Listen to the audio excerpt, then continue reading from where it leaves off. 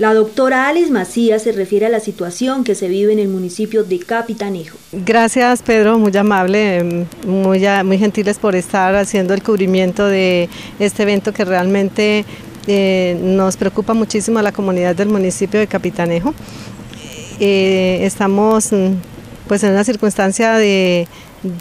alto riesgo, realmente es de alto riesgo. Yo creo que en las imágenes que ustedes eh, irán a, presentar o que estarán presentando ya con relación a, lo que ha sido el, área que ha estado como invadida por la,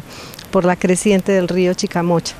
Mm, nosotros tenemos eh, la preocupación grande porque es que el río ha tomado un curso que, que realmente mm, viene viene de frente contra, contra el municipio, contra lo que es la plaza de mercado y mm, posteriormente mm, viene hacia lo que son las construcciones que están en, en, la parte occidental del parque. Eso significa que cuando estemos nosotros en el parque, las viviendas que quedan hacia el frente de la iglesia. Mm, pues esta mañana tuve la oportunidad de estar al frente de, uno que, va como a observar qué está pasando y en, ese momento justo como a los 10 minutos de estar en esa observación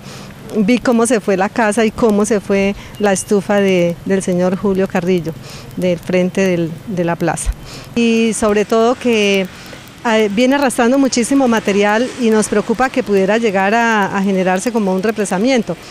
En las aguas anoche circularon por encima del puente de la Palmera, o sea, las aguas pasaban por encima del puente de la Palmera. Yo tomé unas imágenes esta mañana donde las aguas llegaban a la, a la orilla del, del puente, y, pero se nota el limo que quedó esto, que circuló el agua por encima del puente. Yo pienso que una de las cosas que se necesita también urgente es que mm,